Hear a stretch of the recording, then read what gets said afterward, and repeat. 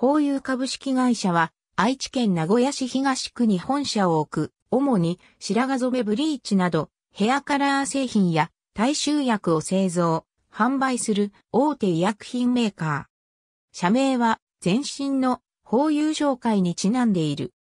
国内ではヘアカラー業界最大手であり、主なブランドとして、ビゲン、シエロ、ベアウテーン、ブティラボーなどのブランドがある。また、資本向け以外にも美容院などへの業務用、ヘアカラーの製造販売や OTC 薬品の OEM 生産のほか、最近ではヘアカラーの通信販売も行っている。2009年9月18日、ファンド3社からクラシエホールディングスの株式60%を100億円で買収することで合意し、9月30日に株券の引き渡しを受けて、クラシエグループを参加に収めた。また、残り40%の株式についても、2012年3月30日に追加取得し、クラシエ HD を100%完全子会社化している。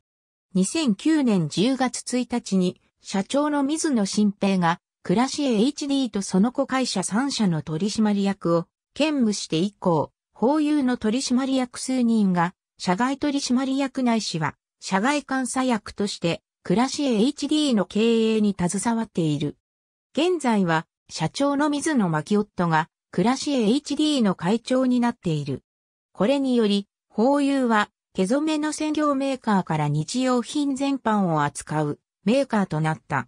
ビゲン、メンズビゲン、シエロ、ビューティーン、ビューティラボの製造終了製品については各ブランドを参照。社名現在、CM の最後に、ホユーと流れる社名のサウンドロゴは、女性製で2005年から使用されている。制作したのは、菅野幸子。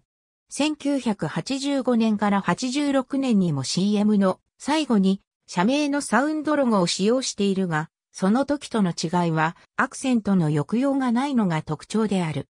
ビゲンとメンズビゲンに関しては当初使用されていなかったが、ビゲンは2008年9月に発売されたビゲンスピーディカラーから、メンズビゲンは2009年11月に発売されたメンズビゲンムースカラーから使用されるようになった。